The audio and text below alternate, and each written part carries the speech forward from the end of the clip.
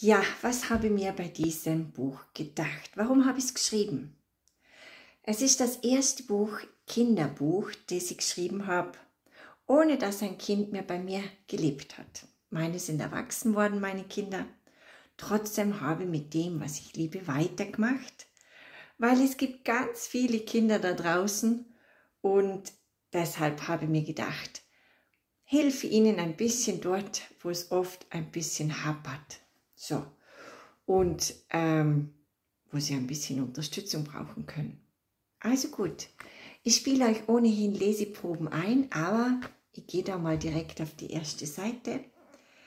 Tims Mutter kam jeden Tag um 6 Uhr in sein Zimmer, zog ihm die Decke vom Bett und sagte fröhlich, Aufstehen, kleiner Mann, ab ins Badezimmer mit dir.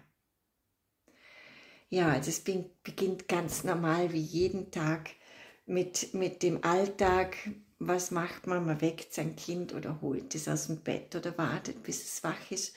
Und sobald es in die Schule kommt, muss es natürlich auch dieses Zähneputzen hinter sich bringen, das Frühstücken, das Anziehen und, und dann zur Schule. Und es heißt ja der Buchstabenmeister. Also hat es mit der Bildung der Sprache, der Schreibschrift, des Lesens zu tun und mit der Schule.